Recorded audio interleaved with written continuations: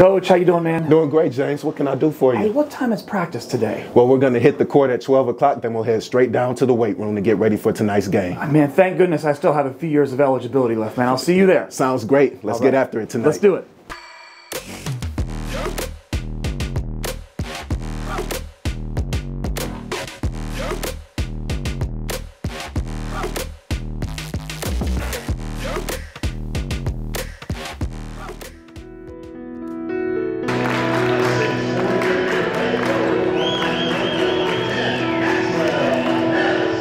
A 5'11 senior playing shooting guard from Elkins, West Virginia, James Moore.